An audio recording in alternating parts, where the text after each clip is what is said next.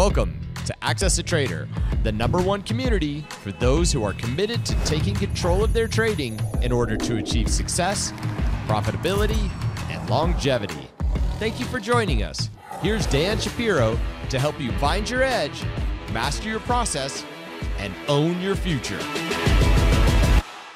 Hey guys, good evening, everybody. Welcome to another edition of uh, the AccessATrader.com nightly wrap up show. Hope everybody is uh, doing well. So, uh, pretty much of a rest day today in the markets. Um, I, I, think that's a good thing. Uh, I really do. Um, I, I think one of the biggest keys to when you're when you're trading for a long time, and a lot of you guys that have been trading for a year, two years, and three years, you're not really uh, you're not really at that mental point yet. But uh, the most important part is you. I, I talked about this randomly, but you have to kind of know when the premium days are. Okay, and the premium days are always going to be towards the later of the week. Uh, yesterday we had a very very aggressive day, and today, and we'll, you know, we'll talk about it. Um, we'll talk about it from the Twitter feed um, and the pivot stay in a few minutes. But but today you, you can see how even when the Dow Jones was strong, and again, market is very, very strong. If you look at uh, if you look at just the macro picture, again, big, big breakout yesterday. Uh, again, paused right at the upper Bollinger Band. So again, can we back test for another day?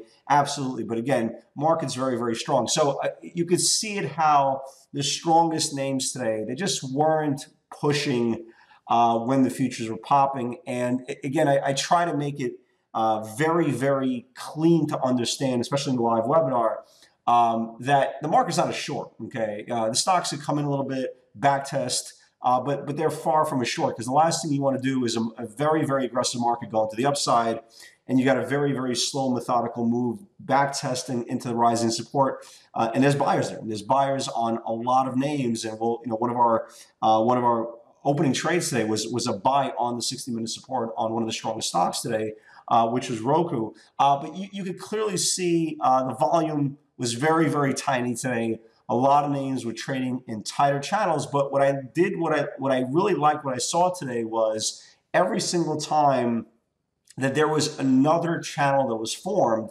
they were nowhere close, okay, close to uh, taking out the previous candle confirmation to the downside uh, other than Tesla, who had a big run yesterday, and we talked about this obviously in the video that I thought was a second move coming back to the downside today, which it did. Again, three day run, and kind you know, we talked about this yesterday and it played out perfectly today. Uh, you had the inverted hammer that we talked about again, which is a short term sell signal confirmed last night's prices, yesterday's prices, and went right to the next support, which you see right over here. So uh, again, the market was good. Uh, I think probably you get one more leg down on Tesla. Again, this is not a short into, you know, again, people are coming up with, well, accounting frauds, and I've settled down. Um, you know, all it is probably get one more day to this rising uh, five day support. And, and again, I'd like to possibly get a short off this channel here. We'll talk about it tomorrow, depending how it opens. But this is a buy. I mean, this is definitely a buy into rising support. It's just again had an eighty dollar move, and you know today came down eleven, which we talked about last night. I think we have one more day, right? We have one more day. Uh, not heavy action today in the options market on the Tesla sell side, but there was yesterday. Those uh, those 320, uh, 312.50 puts, you know, they're all, they're all starting to pay there. So, uh, you know, pretty look. Action was pretty decent today in the morning. Uh, it got aggressive towards the end of the day. Um, on BYND. Congratulations. I know several of you guys uh, came in long puts on BYND, just an absolute blow up. And again, when you, and again, for all you guys who, who didn't see the video yesterday, you know, you're talking about uh, a company that actually had a 250% year over year. Um, doubled, you know, doubled their estimates, right? You're talking about, I think they reported six cents versus three and they still couldn't rally it. You know, we said it last night when I was charting, um, when I was charting after the close, and some people were still in the webinar, and I said it's over. I mean, the game's over. And uh, today, I mean, today on BYND, every level got taken out. You know, got taken out. Uh, the 90.50, right? The 90.50, which was yesterday's low, yesterday's uh, pre-market low.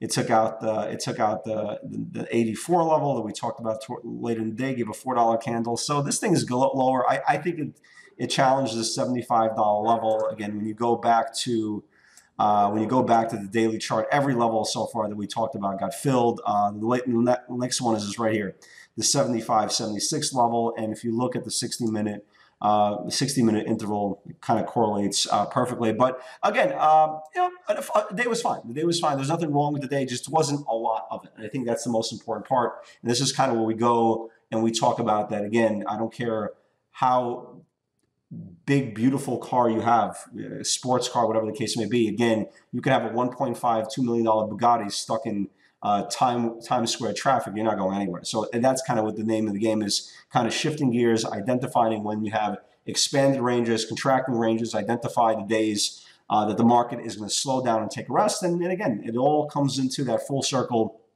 of signing up to be uh, a professional trader. Again, hopefully, the many years go by, you'll start seeing it, you know, seeing it more clear and clear every day. So let's talk about it, right? So uh, 322 is a 60 minute support neat, strong build. Uh, again, the you know the stock got hit. You know, you had Roth coming out with a sell. Okay, here was the 322 channel. Why was 322 important? Again, this is the rising uh, 60 minute view, right? We talk about strong stocks touching their 60 minute views and bouncing. Yesterday, it touched the 60 minute area, right? We talked about this actually on uh, the weekend video, right? It's buying strong stocks into rising wedges, right? So this is a rising wedge, 60 minute bounce, 60 minute bounce. So today, when it broke that 322 area, again, if you believe in the theory of stocks trade from supply to supply and demand to demand, 322 went all the way down to the 315, 316 level, uh, which we talked about. So that was a you know pretty aggressive move. Um, Roku, we actually traded twice today. Um, we traded on a bounce. The first bounce was perfect. I mean, perfect, perfect bounce.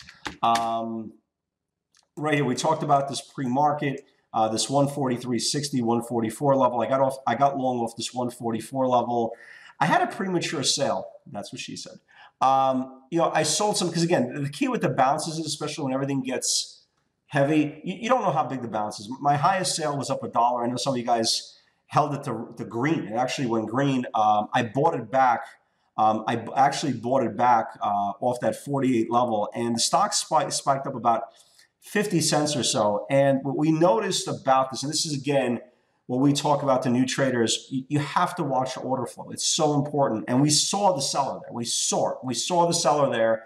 Uh, there was a sneaky pivot there, 47.50, 48 and a half, uh, 48.17. We saw that seller there. So at 48.50, um, I started making some sales. Uh, I sold two thirds of my position, and the rest I sold break even. But again, here's 47.50 sneaky area, and, and you'll see quickly uh, you'll see quickly, again, Amazon never built, obviously, Google never built. Uh, if you see here on 4750, I started talking about, and I'll show you in a second, uh, 4750, it's stalling out a little, it takes them off, it takes them off. And the most amazing part is, if you if you don't read order flow, you don't see that reload seller over and over and over and over there, and you never made sales, right? I mean, again, the stock put up a you know, dollar, dollar and change move. It wasn't the biggest trade in the world. But, but the key is if you didn't see it stalling out, right? If you didn't see it stalling out take some off, you would have thought everything's fine. Again, it's that whole theory of, of trading on one gear, you know, driving the Bugatti in um, Midtown Manhattan, uh, bumper to bumper um, uh, traffic. And again, it's very, very important. Again, the longer you watch order flow and it's much easier to pick up. So uh, nice move there, good cash flow. So I took it twice today. Uh, pretty decent trades there. Uh, Tesla, again, here it comes, right? Here it comes, got killed. Uh, JBHT, I didn't take this trade because it was just way too thin for me, but it was actually a nice move. Um, we talked about JBHT, oops, JBHT in the trucking space. Again, not really my thing, but again, does it really need to be my thing? Uh, again, here's the channel. Uh, JBHT trades thinner, uh, 1790, 18 needs a strong daily build, and yada, yada, yada. Uh, this thing went went to 1940. Again, big move here, a daily chart confirmation, right? Beautiful move. Again, I don't need to be in the trade. You know, I don't need if if I don't trade JBHT and you like the chart, just buy it. You have to trust technical analysis. The most important thing. Uh, nice move there. Nice, really nice move there as well. You got a two dollar move there. Actually, dollar and a half move there. Uh, and this was kind of. Uh, I actually gave a better. Uh, I actually gave a better pivot uh, than this 83.50, 83, even though obviously this works. I actually gave a better pivot. And I kept on saying, this is already like 11, 11.30. They actually just dried up. And I said, hey, just again, stay patient. You might be for the rest of the day. But I actually gave a better pivot. Okay. Uh, I gave a better pivot. This never, uh, this never confirmed. Went down like 10 cents. There was never, there was never a second entry on this thing. Um, so, and I kept on saying, you know, save, it's dead out there. It's just really dead, dead out there. Save your chips uh, we'll get something better. But uh, again, here comes JBHT. Uh, and here, here it was, right? So here, here was the here was the setup here. Um, this is the last three candles, right, of uh, the 60-minute view of BYND. And I said, hey, if this thing can clear out this bottom channel, it's going to come in.